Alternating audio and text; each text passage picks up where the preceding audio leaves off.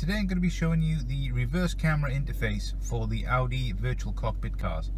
This one is actually an Audi TT. If I select reverse, changes the screen over. As you can see it has the active guidelines.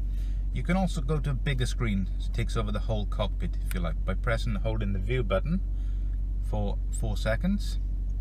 Changes the screen over to a full-size cockpit back at reverse goes back to the factory standard screen.